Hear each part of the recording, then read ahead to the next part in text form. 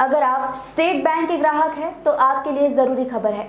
Bank ने अपने ग्राहकों के लिए बड़ा ऐलान किया है, जिससे ग्राहकों को सीधा फ़ायदा मिलेगा। इसके तहत, अगर आप एक लाख रुपए तक का बैलेंस मेंटेन करते हैं तो आपको एटीएम ट्रांजैक्शन पर किसी तरह का चार्ज नहीं देना होगा। इतना ही नहीं, अगर आप किसी और बैंक के एटीएम से पैसे निकालते हैं तो आपको तीन ट्रांजैक्शन फ्री मिलेंगे। वहीं नॉन एसबीआई एटीएम से पैसे निकालने की अलग लिमिट है। अब नए नियम के तहत ग्राहकों को एटीएम से पैसे निकालने के लिए निश्चित सीमा के बाद अलग शुल्क देना पड़ेगा। अब आपको SBI और नॉन एस बी के आधार पर पाँच से बीस रुपये तक का चार्ज देना पड़ेगा। अगर आप एस बी से तय लिमिट से ज़्यादा पैसे निकालते हैं तो आपको दस रुपये तक का चार्ज देना पड़ेगा। वहीं नॉन एस बी से तय लिमिट से ज़्यादा पैसे देने पर आपको बीस रुपये का चार्ज देना पड़ेगा।